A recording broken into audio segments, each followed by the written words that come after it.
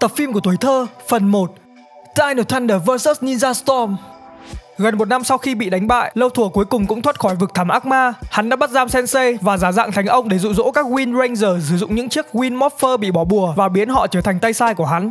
Lâu thùa xuất hiện cùng với các Wind Ranger và đã tấn công học viện Wind Ninja. Hắn bắt nhốt tất cả học viên vào một chiếc bình.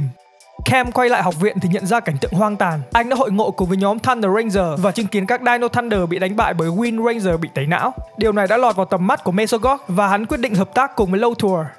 Cam, Hunter và Blake đã bước vào vực thẳm ác ma để tìm kiếm sức mạnh của họ. Quả cầu Samurai đang được bảo vệ bởi Zergen và quân đội của hắn ta. Bằng sự hỗ trợ kịp thời của Sensei, họ đã thành công lấy được sức mạnh và giúp nhóm của Shen quay trở lại bình thường. Các Ranger cùng Tommy và Sensei đã tụ họp và bàn cách để hạ gục Lothar và Mesogog. Đối mặt với các Ranger là đội quân được lãnh đạo bởi Elsa và Zergen, hai chiến đội đã biến hình và đoàn kết đánh bại chúng. Trong đó, Connor và Shane đều sử dụng Battleizer của họ để tiêu diệt các vệ sĩ của Lâu Thùa.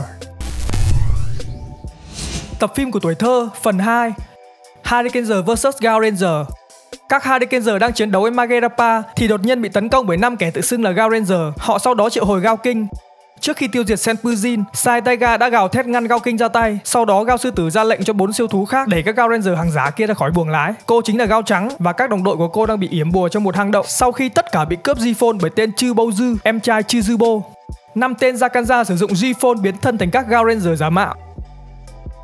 Nhờ sự giúp sức của Shurikener và nỗ lực từ nhóm của Yosuke, họ đã thành công giải cứu các Gao Ranger thật.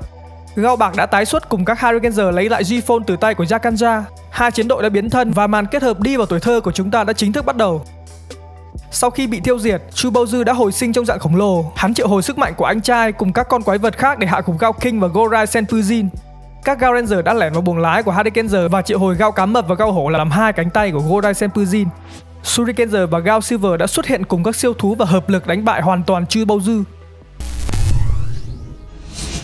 Tập phim của tuổi thơ, phần 3 Mũi tên tình yêu Một Yakuza tên Chupit có khả năng bắn ra một mũi tên Khiến ai bị dính sẽ yêu một thứ ngẫu nhiên mà họ lần đầu nhìn thấy. Phát hiện ra điều này, Isu tới bảo vệ dân thường thì bị dính mũi tên. Nhìn thấy Nanami đi qua, bùa mê phát huy tác dụng khiến anh say đắm Nanami. Trong khi đó, thần tượng của Nanami là ngôi sao truyền hình Katsuya cũng trúng phải mũi tên Và ngay lập tức yêu cô. Isu tới nhờ vả Yosuke và Kota cách tán Nanami. Họ gợi ý anh nên tặng một con thú dễ thương. Thế đếch nào anh lại mang đến tặng cô?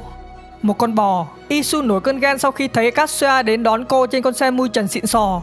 Anh tới bãi biển và tặng cho tình địch một bên pha. Ngay lúc đó, Chupit đến và đây là lúc Isu biến hình để sĩ gái. Thì Katsuya tiết lộ anh chính là Shurikenzer.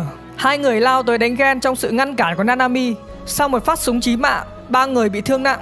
Nhưng với tình yêu mãnh liệt dành cho Nanami, Isu đã đứng vững và thành công đánh bại Chupit trong sự thán phục của hai người. Nanami tới cảm ơn, nắm tay Isu và khen anh thật ngầu lòi.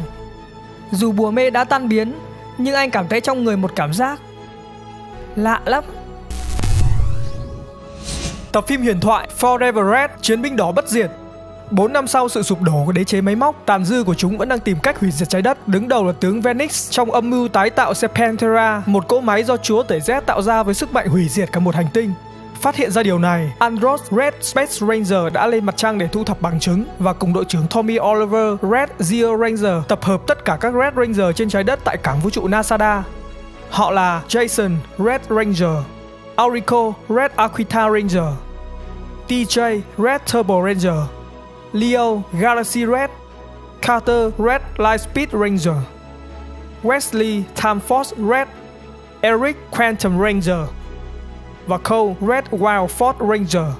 Tất cả các Ranger đã biến hình một cách hoành tráng và cùng nhau chiến đấu với các tên thuộc hạ của Venix. Venix nhanh chóng nhảy vào cỗ máy Serpentera để tẩu thoát, nhưng Cole đã triệu hồi phương tiện Wild Ford Rider của anh ấy để chiến đấu với hắn.